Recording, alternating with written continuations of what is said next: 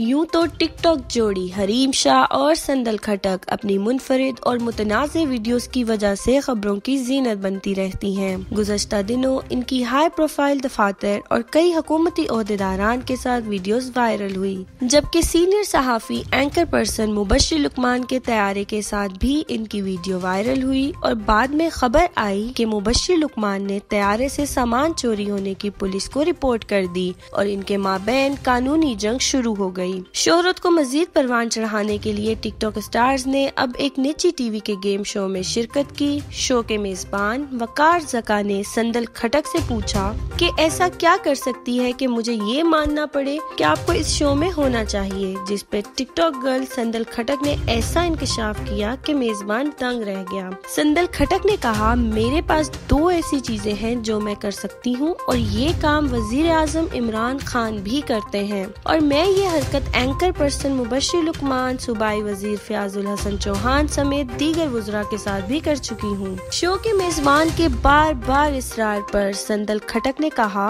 मैं किसी पर भी काला जादू कर सकती हूँ। इससे बढ़कर मैं किसी भी शख्स के कपड़े भी उतरवा सकती हूँ। टिकटॉक स्टार ने अपनी बात को बढ़ाते हुए कहा कि वो ये हरकत मुबशर लुकमान के साथ भी कर चुकी हैं और इसकी उनके पास वीडियो भी मौजूद है।